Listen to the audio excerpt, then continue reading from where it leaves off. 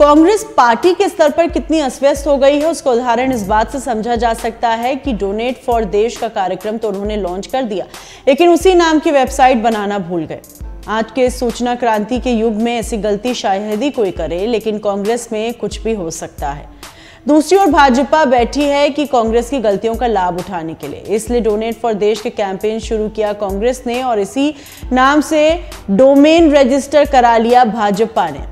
अब दान दाताओं के सामने मुश्किल यह होगी कि अगर वो इंटरनेट पर डोनेट फॉर देश सर्च करेंगे तो भाजपा की बनाई वेबसाइट डोनेट फॉर देश दिख जाएगी, जो भाजपा के लिए डोनेशन करने वाले पेज पर ले जाएगी। जबकि एक न्यूज़ पोर्टल ने इसी कैंपेन से मिलता जुलता डोमेन बना भी लिया और उसे अपने डोनेशन पेज पर रीडायरेक्ट भी कर दिया है। कांग्रेस में जिन भी लोगों ने यह कैंपेन प्लान किया, उन्होंने यहाँ भी मानो कोई घोटाला कर दिया।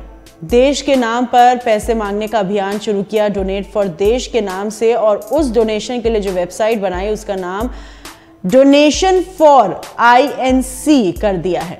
वैसे स्वतंत्रता का बाद कांग्रेस का अपना राजनीतिक चरित्र ऐसा बन गया है कि अगर उसके नेता कोई काम करे और उसमें घोटाला ना हो तो भरोसा करना मुश्किल है कि क्या सचमुच यह कांग्रेस का ही नेता है। घोटाला और कांग्रेस एक दूसरे के पर्यावाची जैसे हो गए हैं। उसके नेता सत्ता में रहें या पार्टी का काम करें, घोटाला करने से चूकते नहीं।